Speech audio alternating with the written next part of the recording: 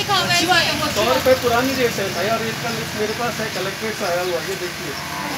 मेरे को उसमें भेजा है बंशीराम करतार ने लिस्ट की बोला ये रेट बढ़ गया। मैं तो भी एक सौ पाँच रुपये बेच रहा हूँ ईमानदारी से।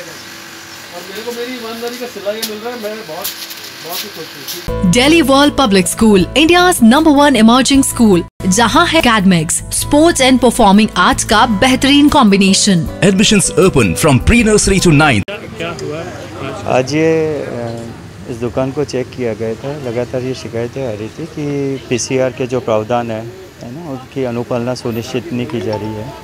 तो इसके तहत इनकी चेकिंग की गई। साथ ही ये भी शिकायत थी कि बड़े लेवल पे पैकिंग की जा रही है, जिसके लिए वैक्स एंड मेजर डिपार्टमेंट में पंजीकरण किया जाना अपेक्षित है। इस प्रकार जो है, दुकान में पीसीआर का वायलेशन पाया गया। तो उस पर पेनल्टी इम्पोज की गई है और उनकी सहमति के आधार पर उनको पाबंद किया गया है कि प्रशासन द्वारा निर्धारित रेट पर ही चीज़ें आवश्यक सामग्री का विक्रय करें और लॉफुली और पीसीआर और लीगल मेट्रोलॉजी एक्ट 2009 के तहत प्रावधानों के तहत ही विक्रय सुनिश्चित करें। इन पर ढाई हज़ार रुपये का जुर्माना किया मनीष भटनागर सहायक नियंत्रक विधिक महाविज्ञान आप रसद विभाग की टीम में हमारे साथ हैं।